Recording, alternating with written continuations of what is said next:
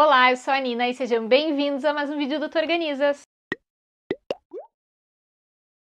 Eu nunca tinha me interessado. Com todo mundo que eu conversava sobre passadeira a vapor, eu senti um tonzinho de arrependimento na voz. Até que uma passadeira dessas caiu no meu colo. Minha sobrinha não queria mais a dela, me deu para testar e eu me surpreendi positivamente. Com essa surpresa, eu resolvi perguntar para as seguidoras lá no Instagram o que elas achavam desse produto. Recebi mais de 100 depoimentos e o que eu achei mais curioso é que as opiniões eram assim: ou eu adoro ou eu odeio. E lendo os depoimentos eu percebi que as pessoas têm rotinas, gostos e costumes muito diferentes. Por isso que para um o produto é maravilhoso, para o outro não é. Com isso, nesse vídeo baseado numa centena de depoimentos, nos meus testes práticos e na minha pesquisa, eu vou falar para vocês tudo sobre a passadeira a vapor, também chamados de vaporizadores ou steamer. Também vou fazer com que vocês entendam se a passadeira é para vocês ou não, se vocês são do time time que vai adorar ou odiar. E se você tem uma passadeira e um vaporizador na sua casa que não funciona, você também vai entender por quê. Antes de mais nada, a gente precisa entender o que, que acontece com o tecido quando a gente lava, quando usa o ferro de passar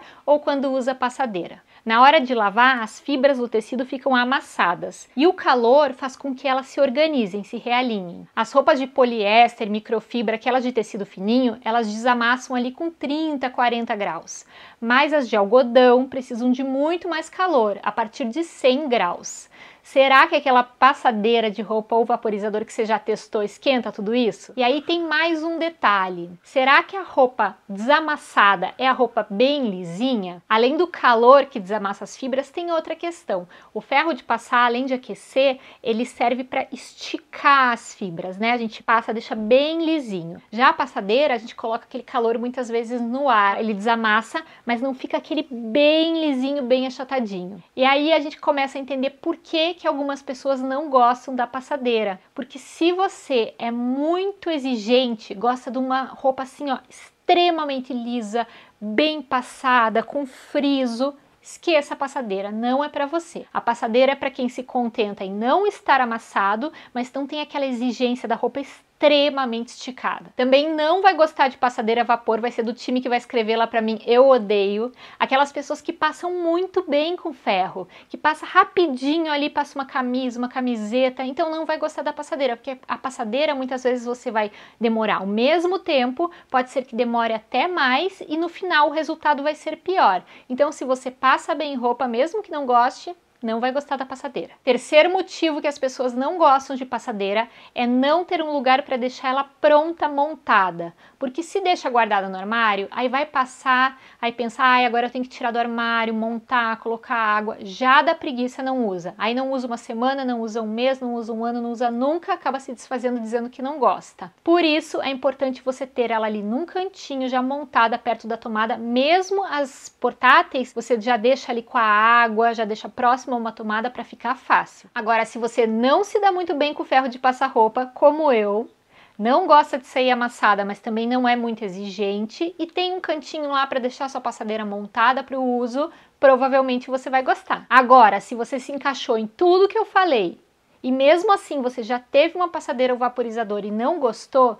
talvez essa tua passadeira ou vaporizador não tivesse sido tão potente. E aí, como eu falei para vocês antes, se não chegar no calor suficiente, não vai desamassar o tecido de algodão. Por isso eu testei dois modelos para poder comparar e sentir as diferenças. A primeira é aquela que eu falei para vocês que eu ganhei da minha sobrinha, uma passadeira de chão bem potente, 1500 watts de potência, e comprei uma portátil pequenininha de 1000 watts de potência. E aí eu já percebi muita diferença. Eu fiz um teste que é claro que não é um teste científico, mas é um teste para vocês visualizarem o que eu sinto, a diferença de calor de uma para outra. A de chão 1500 watts, ela esquenta muito mais, inclusive se eu chegar com a mão perto, queima, e já a, a portátil, eu posso até aproximar um pouco a mão assim que não queima. Olha só, fiz um teste com garfo e manteiga e deu para ver que a 1500 watts a de chão, que é mais potente, a manteiga ali caiu bem mais rápido. A outra teve que ficar um tempão ali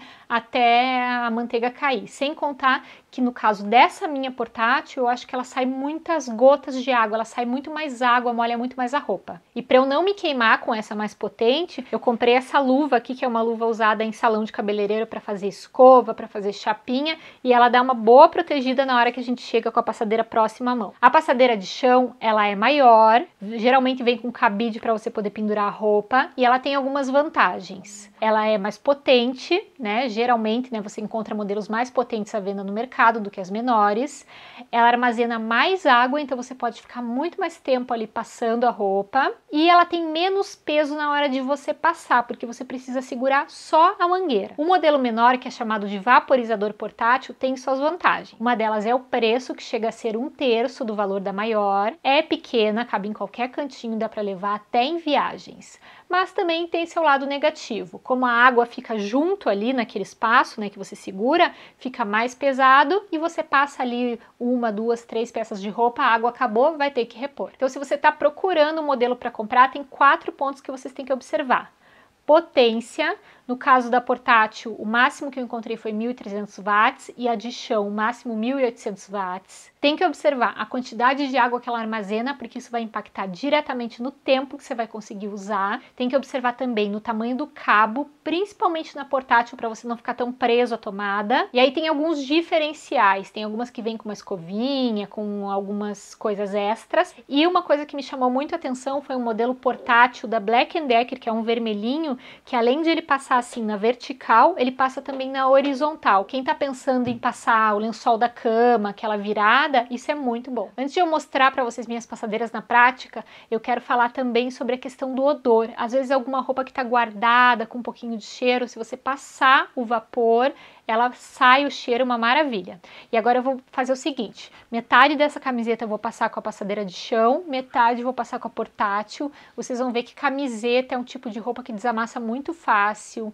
É, também roupas de tecidos fininhos, tecidos sintéticos são uma maravilha para desamassar com passadeira. Na camiseta eu achei que tanto um lado quanto o outro desamassaram bem, tanto a portátil quanto a de chão. O que vocês não percebem no vídeo, mas que eu percebo aqui, é que o lado da portátil está muito mais molhado. Achei exatamente pelo vapor sair com menos temperatura, ele acaba condensando e deixando mais molhado o tecido. Então, depois de passar, não dá para colocar direto no armário porque ela fica úmida, mas com a portátil ela chega a ficar molhada em alguns pontos. E aqui vocês reparam bem o que a passadeira faz. Ela desamassa, mas vocês podem podem ver que o tecido não tá liso, ele fica uma leve ondulação. E aí vocês devem estar tá falando assim: "Ah, mas camiseta é fácil, agora eu quero ver com a camisa". Então vou mostrar para vocês com uma camisa. Então olha só, essa metade aqui passei com a passadeira e essa tá amassada. Então vejam, uma manga amassada, uma manga passada com a passadeira. Ainda ficam algumas marcas, o tecido não fica bem liso, mas daí vai daquela exigência que eu falei para vocês. Eu assim